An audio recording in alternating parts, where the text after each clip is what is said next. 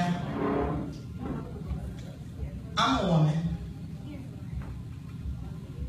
But do not misinterpret the title given to me at conception. I am stronger than the mass miscommunication, more vital than the contemplation. And just because my chemical makeup places me in backup of the often idolized male domination, I still rise to the top on every taken occasion. See, I'm more than just a big butt and a smile. And opportunities are limitless for this woman with style. I take woman who laid bricks before me. When you see me conceptualizing my next idea, just know that me being the only woman battling them gives me diesel fuel. I transpose her inferior nature into a lifestyle and strong backs, and my crown is part of the reason he chose to date her. But see, I don't want no sissy back. Because see, he was afraid to date a woman with an engine like a Hummer, but I would rather masturbate to folk music than to be lost in his remedial slumber. Uh-huh. Because I was broken.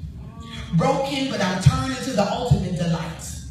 And when the competition approaches me, I don't run from the fight. Because see, I'm never putting myself to be in a position to be anyone's whore just to sleep my way to the top as my morals drop. And just as my legs spread, my reputation is dead. And as he strokes his hands across my face, leaving traces of my attempts to be better than the rest. So when you texting me, trying to get yourself a little taste, just know that I'll never crawl to the top on my knees, using my hands, using my talent as a disease, because see, I'm spreading aggressively. And the only cure to this is destiny, because I'm changing lives and I'm touching others. And let's know that I'm going to be there for all my sisters and brothers. So just understand, regardless, I was made for this life. Just call me the woman of steel.